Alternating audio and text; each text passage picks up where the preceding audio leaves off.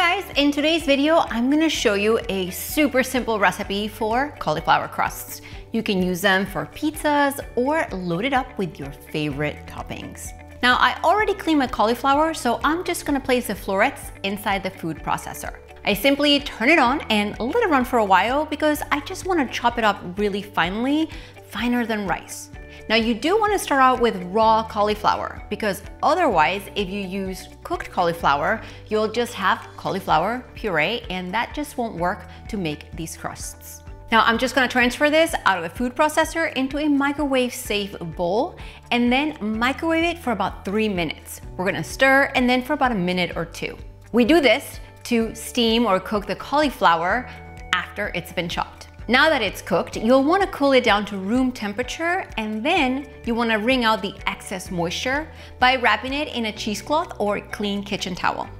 Once that's done, just put it back in the bowl and then we add the eggs and the seasoning and we whisk everything to combine.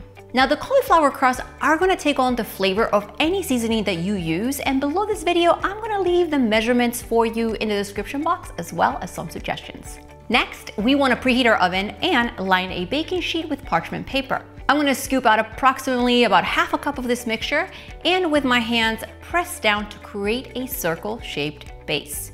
I'm gonna repeat this process and form the rest of my crusts. The recipe below is gonna make eight of them so you can bake some today and save the uncooked mixture in the fridge for up to four days.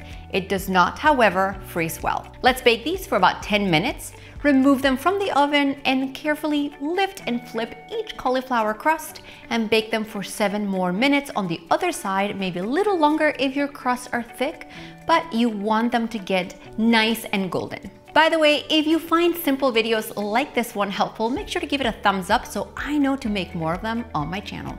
Once they're ready, you just take them out of the oven and at this point, you can use them as the base for a pizza crust or as you can see, they're perfectly pliable. So you can also use them any way you'd want to use a pita, for example. If you enjoy cauliflower recipes, make sure to check out this next video. See you guys next time.